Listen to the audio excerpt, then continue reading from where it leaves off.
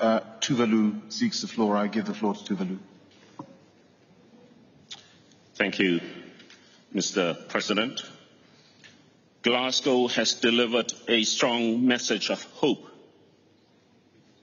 a strong message of promise. Glasgow has delivered a strong message of ambition.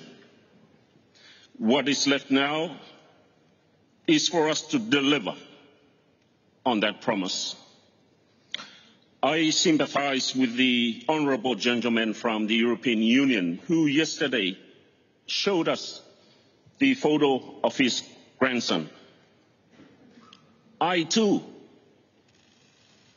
am a grandfather of three little children, and I keep looking at their photos every single night after returning from these halls, thinking what would I tell them upon my return from Glasgow?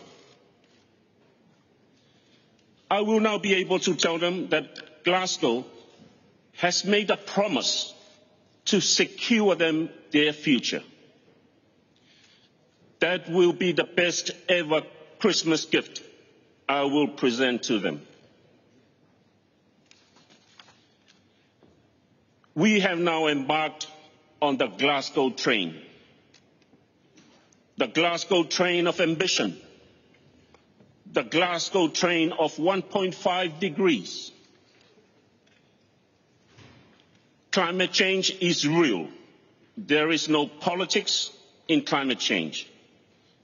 So my fellow political leaders, our response to climate change should never depend on whether our domestic response to climate change would get us re-elected in the next elections.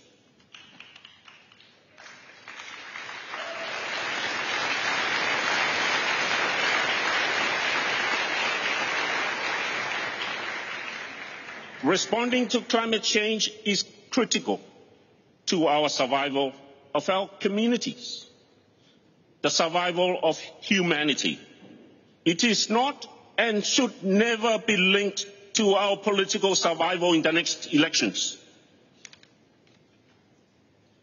So friends, we urge all countries to board this Glasgow train.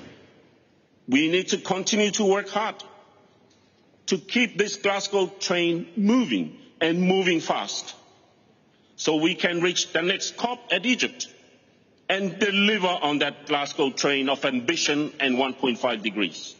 So in closing, Mr. President, we thank Glasgow we thank the Prime Minister, Boris Johnson, and your presidency, Alok Sharma, and your team for your able leadership. And we thank Glasgow for keeping us safe. Friends, Glasgow ends today, but the real work begins now. We must now deliver on the Glasgow train of ambition and 1.5. Thank you all.